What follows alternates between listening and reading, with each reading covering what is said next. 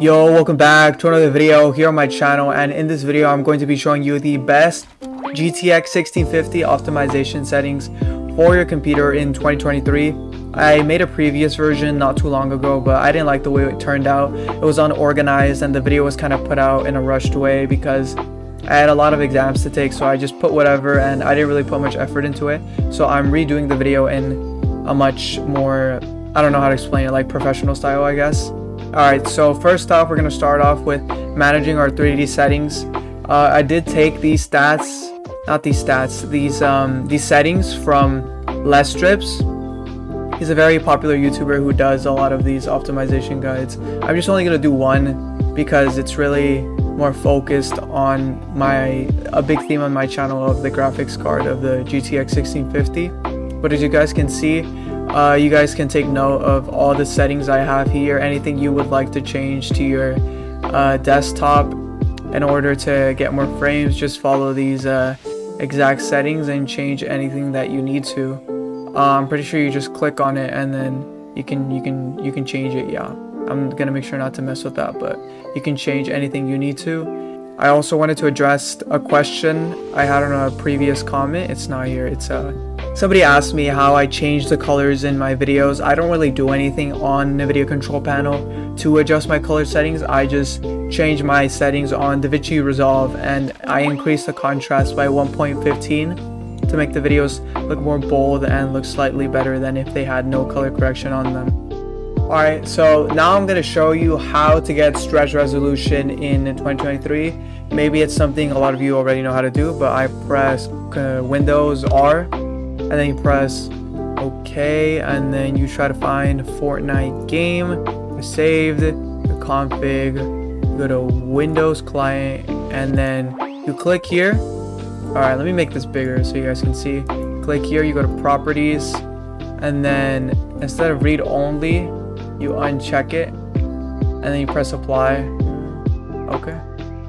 So, and then what you do now is after you get rid of the read only, you click on it and you scroll down until you find the resolution uh, trait right here. Give me two seconds. It should, yeah, it's right here.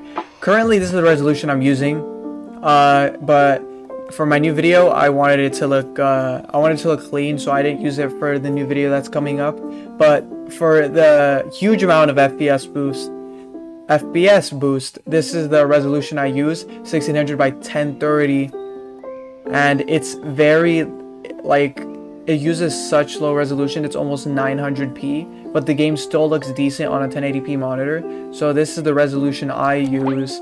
And then after you change your resolution right there, what you want to do is you go into properties, you press read only, and then you press apply, and then you are chilling. After, of course, you saved it on the notepad. Something that's not addressed very often is the Xbox game bar. If you have it on, it, uh, it affects your performance because it's, you know, it's on and it's in your task manager and it takes up part of your computer. So having it off is always better than having it on. So, and then for captures, you definitely don't want this on. I remember I used to have the mistake of having record in the background and then I would be recording with Shadowplay at the same time. So then that would like reduce my FPS and I was like completely lost on what was decreasing my like getting giving me stutters in game. So like recording the background keep that off.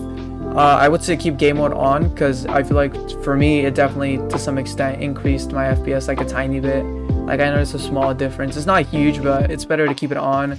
And then that has nothing to do with anything. So now I'm gonna show you a few interesting things in the system and security on your control panel. You go here you go to power options and very obviously what you want to have it at is high performance. Um let me see. Okay how do I apply this? Am I am I dumb? All right whatever it's at high performance.